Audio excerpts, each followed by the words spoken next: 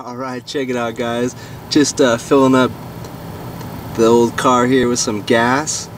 And check it out what I found on the ground. No joke. Couple of $2 bills. And this uh, Mexican currency here.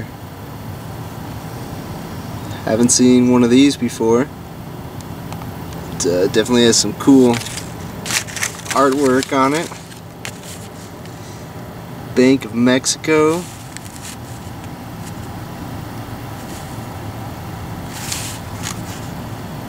And then, uh, let's see, this is a 1995 $2 bill.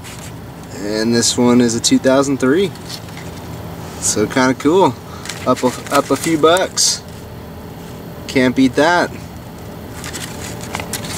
Thanks for watching, guys.